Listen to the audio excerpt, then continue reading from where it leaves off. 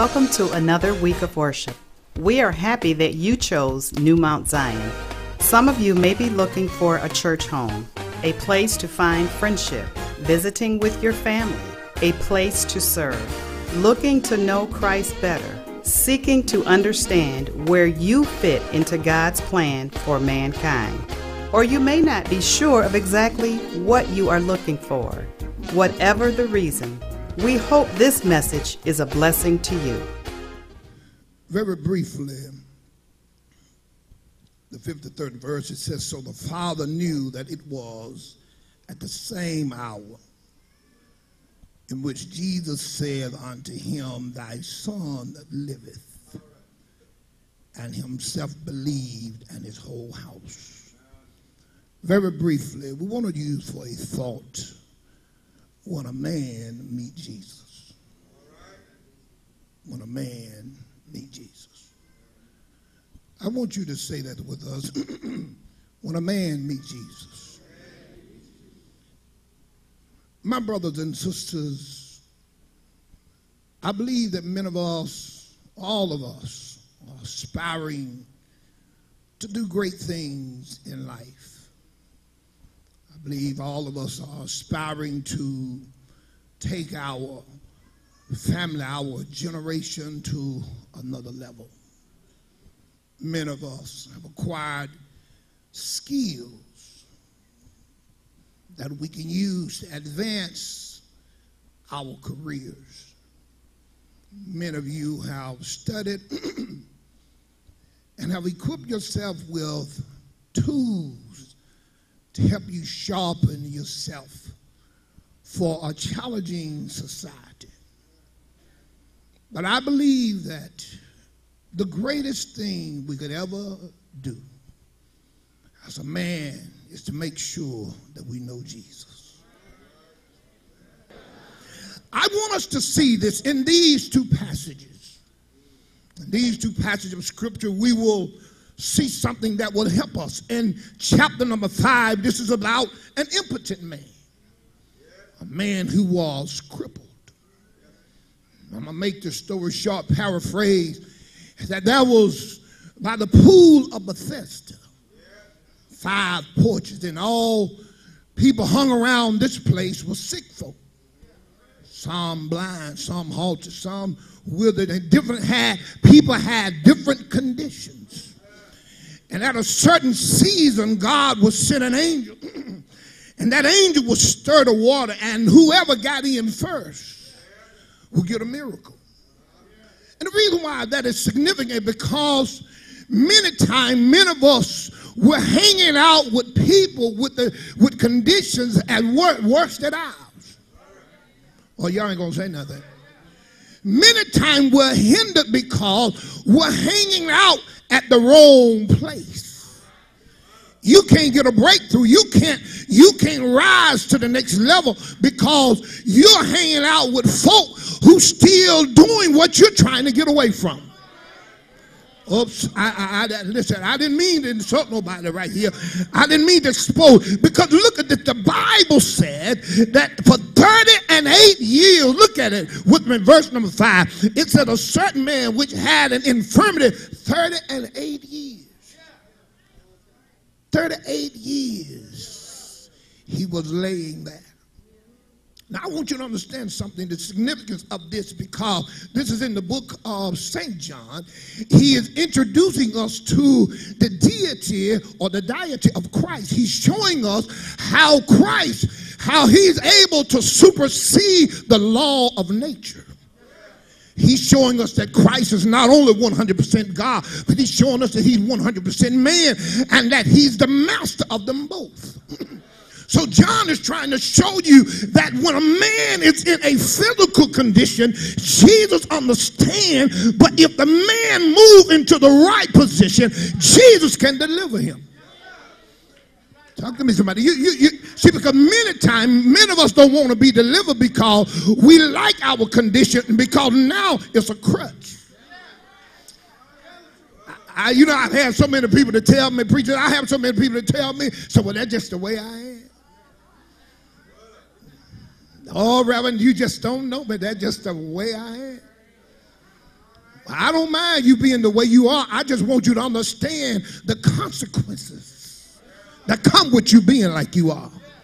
Understand that if you don't plant oranges, if you plant grapes, don't be don't be upset when grapes come back because the Bible said the same thing that a man soweth is what he gonna reap. So if that's the way you are and you want new results, I just want to drop this in your buggy in your cart before you check out. I want to tell you, you can't get something new doing the same old thing. Can I get a witness? But watch this. Here's what, here's what, here's what was so amazing. Here's what's so amazing that really caught my attention with this passage because notice this for 38 years. 38 years. Now, somebody say with me 38 years. now, this man that knew that the water was going to be trouble. He knew that the Lord was going to be, he knew that the water was going to be troubled and that it was going to be his opportunity for his breakthrough. It was going to be his opportunity for a breakthrough. But notice what the Bible said. Listen to this. It says in verse number six when Jesus saw him lie, he knew that he had now a long time been in that case. And Jesus asked the man, said, Listen, now, listen, brother, I want to I wanna help you. Let me put it in this term. He said, I want to help you. Will you be made whole? Do you want to be fixed? Do you want to be fixed? See, sometimes you you see a lot of time we we hear what we do. We enable people in their conditions. Oh, y'all ain't gonna say nothing right there. Yeah, yeah, we we enable people in their condition rather than enable them. We need to ask them, do you want to be fixed? Yeah, we don't we don't listen, we don't turn a lie into just a little white lie. Those of you that studied Sunday school, that's what, that's what the prophet was trying to tell the children of Israel. Is that God said that, listen, you're doing all the outward thing, but your heart ain't with me.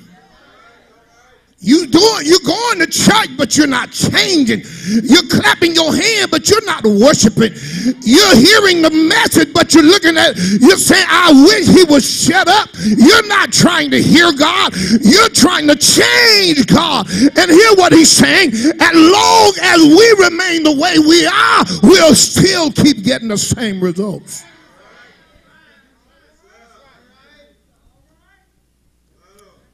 Jesus asked the man, listen, listen, listen, I don't care. Now, I want to put this into modern day term when he said, Will I be made whole?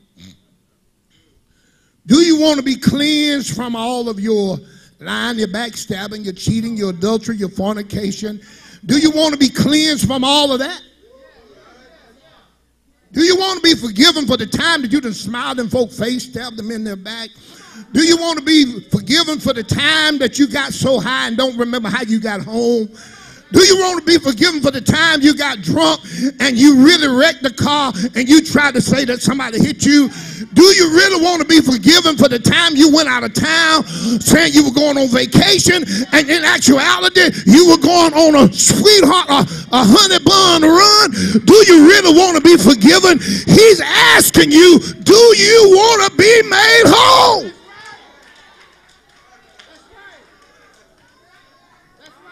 And all we got to do is say, Yes, Lord. Lord, I've been lying and I'm ready to be made whole. Lord, I done committed adultery and I'm ready to be made whole. Lord, I committed fornication, I'm ready to be made whole. Lord, I've been a backstabber and I'm ready to be made whole. But instead of we coming clean with God, look what the man did, and many of us do the same thing.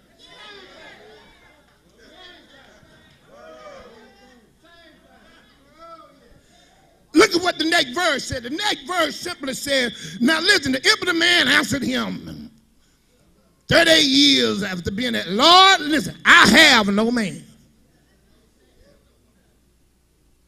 Listen, he said, I have no man, listen, when the water's trouble, to put me in the pool. I don't have nobody to put me in the pool. Is that in your Bible? In other words, he became codependent on people.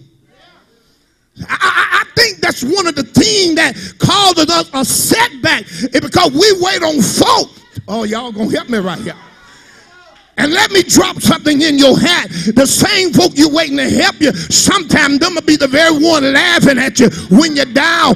It's some of the same folk. Listen, if it's up to some of your friends, if you the way your friends are, some of you don't need enemies, so you can't rely on people anyhow.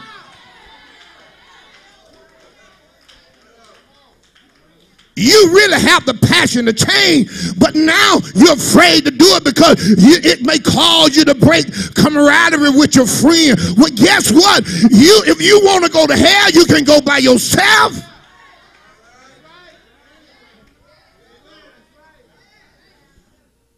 Look what it said. Look what it said.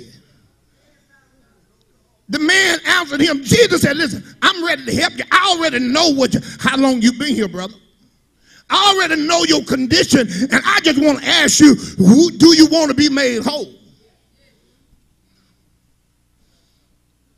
And he said, Lord, I have no man. Let me change that to a modern day statement. The Lord said, Girl, do, do you want me to make you a happy woman? I would, but Lord, I don't have no man.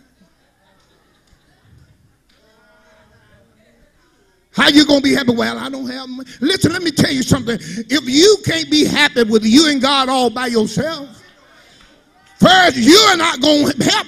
You're not gonna bring more happiness to a house because you're gonna bring all of that frustration.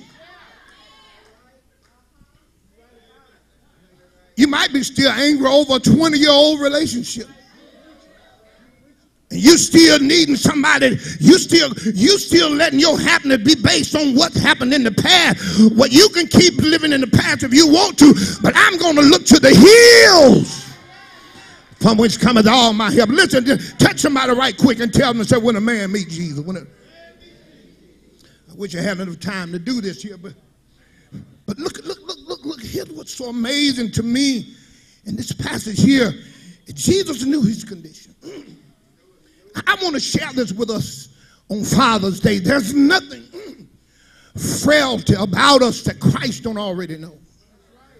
He know if you have low self-esteem. He know if you was abused when you was a child. He know how many times you've given your heart and people walked all over. He knows. He knows how many times people have mistreated you. He knows all of this about us as men and women.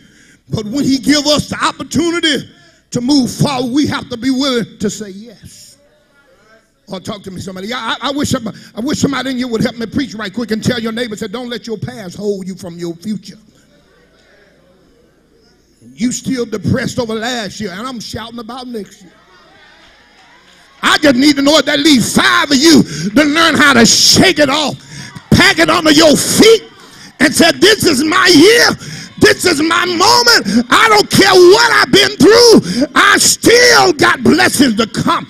God still got, Lord have mercy, He still got a miracle with my name on it. My name on it. Yeah, that's it. You're not being arrogant, but somebody ought to just take a moment and just tell the Lord, thank you that my name is on it. Not my mama, not my daddy, not my sister, my brother, my cousin, not my boss, but my my name is on this one. My name is on this healing. My name is on this promotion. My name is on this joy. So look what happened.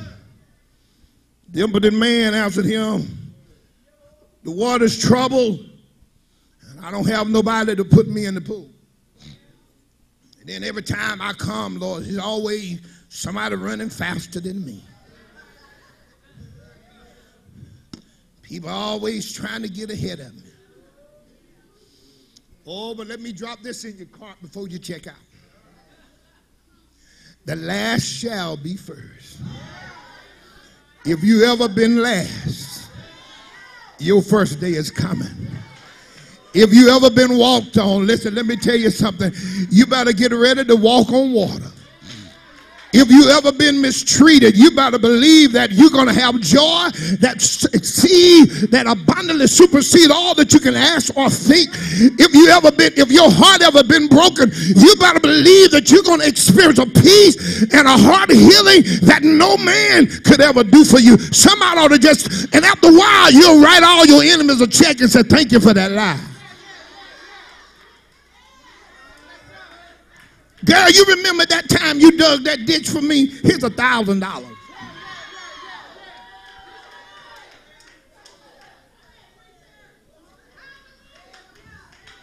You remember that time when I was depressed about three months over the way you had treated me?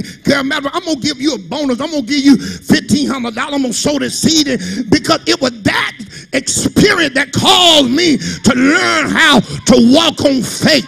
It was that experience that made me finally come to the place to tell the devil, you can't take what God has given me. To tell the devil what God has for me, it is for me.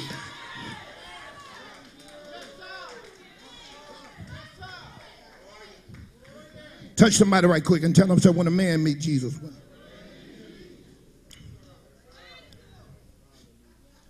I have about four or five minutes. But amazing, watch this. Out of that whole encounter, Jesus still rose above his lack of faith, still operated beyond his inadequacies. Aren't you glad that Jesus operates? It doesn't change based on your condition. Y'all, y'all got to help me right here. All he's waiting is for you to get the right disposition. See, watch this. It's not about it's not about you being broke. It's about you having faith. It's not about you being left by yourself. It's about you trusting God. It's not about it's not about how things are going for you right now, but it's about trusting God because how many know that God didn't bring you this far to leave you now? You need to help me preach. I got a few minutes. Touch somebody right quick and tell them he didn't bring me this far to leave me. He, he, he, he didn't do it. He didn't do it. He didn't do it. He didn't do it. I don't care what the doctors say. He's going to bring me out of this. I don't care how it feel in my left leg. God going to bring me out of this. I don't care how it feel in my back. God is going to bring me out of this. Somebody got a few bounce check, but I come to tell you, God said, it's all right. He said, because guess what? This is going to be your testimony after a while when I get through blessing you. you going to tell somebody, I've been there, done that, but God brought me through.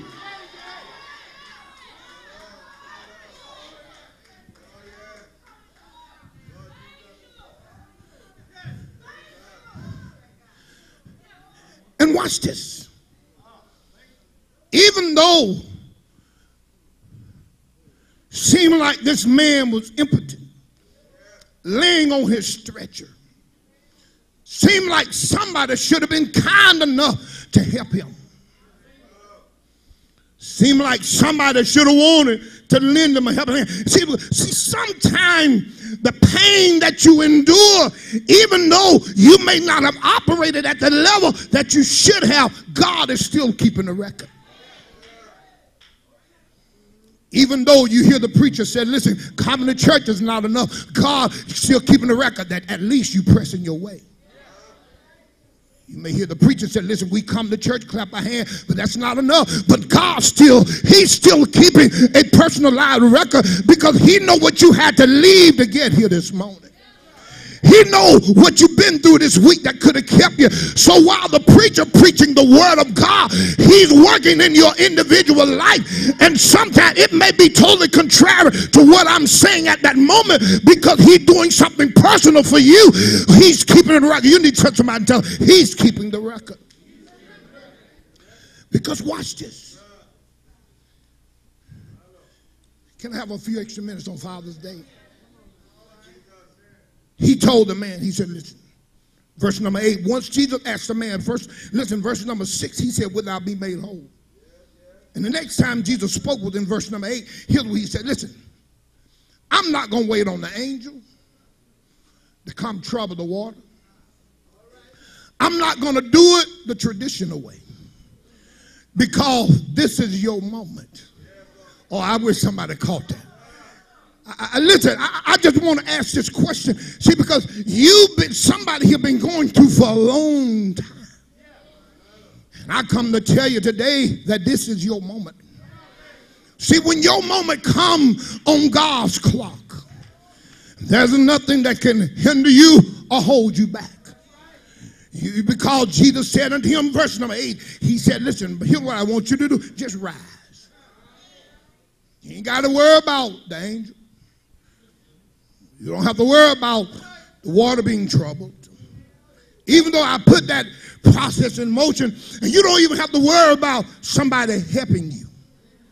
See, because how many here today have you reached a place now to where you thank God for people, but you don't learn how to put all your trust in God? How many thank God today because the man, the man was told by Jesus, he said. First thing when you think about rising, he mean not just physically, but rise in your faith. Rise, rise. Rise from the bed of doubt. Quit laying on your unbelief.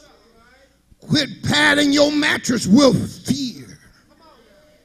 Quit laying your head on the pillow of frustration. And rise up.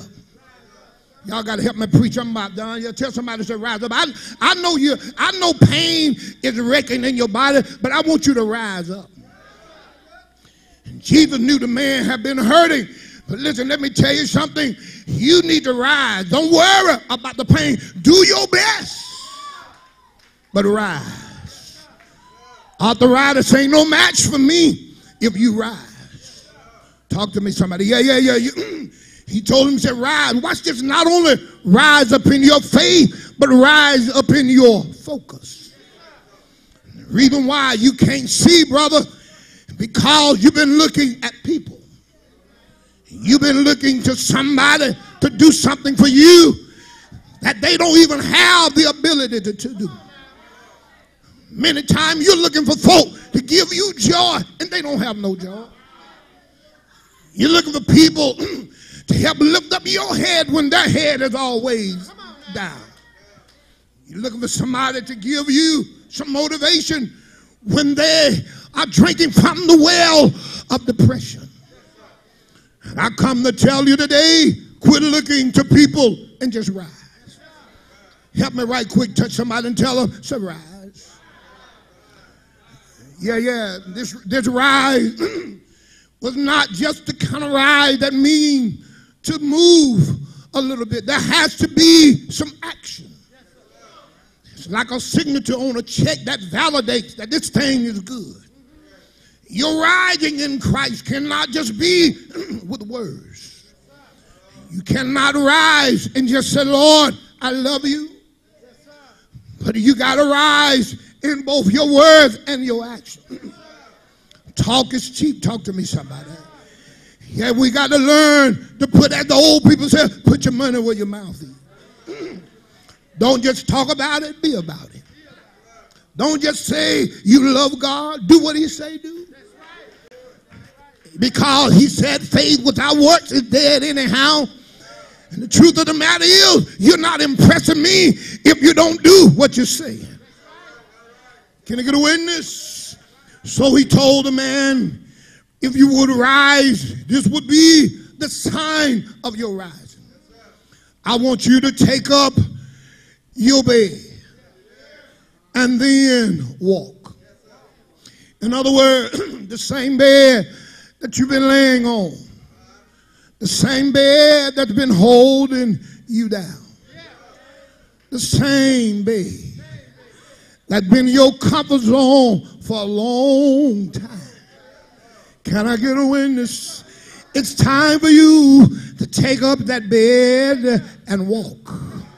Can I get a witness? It's time for you to begin to exemplify strength over your situation. Can I get a witness? Too long we've been waiting for the outside world.